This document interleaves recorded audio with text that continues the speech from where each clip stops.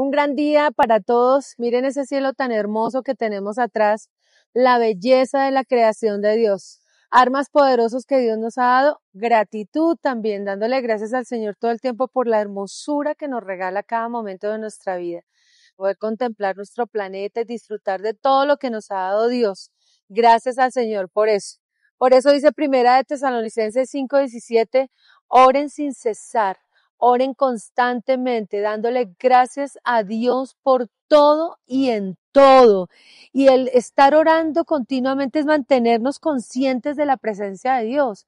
Imposible no creer en Dios con semejante hermosura de cielo, el creador del cielo y de la tierra, estar conscientes de su presencia, de que Él es un Dios verdadero, de que Él es un Dios que nos escucha, que quiere que tengamos una comunicación continua con Él, que no perdamos esa armonía que, que tenemos, sino que al contrario, hagamos acrecentar nuestra oración, nuestra intimidad con Él, dándole gracias a Dios por todo, orando en todo tiempo, manteniéndonos unidos con Él, llevar todas las situaciones ante Él. ¿Y qué tal hoy si le agradecemos? Y le agradecemos por todo lo lindo que nos ha dado. Esa es una arma poderosa, orar en agradecimiento y reconocer que si estamos vivos es por el amor y la misericordia de Dios.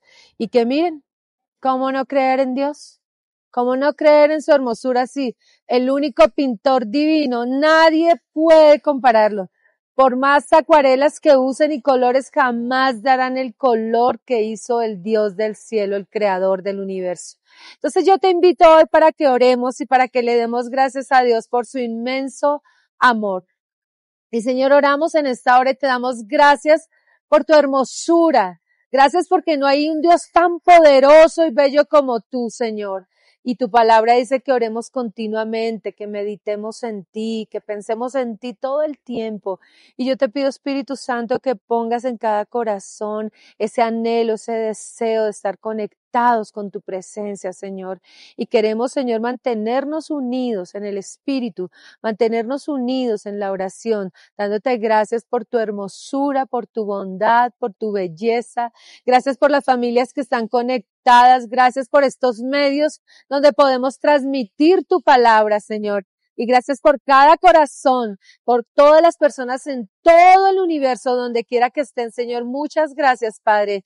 Te damos gracias en el nombre del Padre, del Hijo y del Espíritu Santo de Dios, porque Él es bueno y misericordioso. Gracias, soberano, creador del cielo y de la tierra.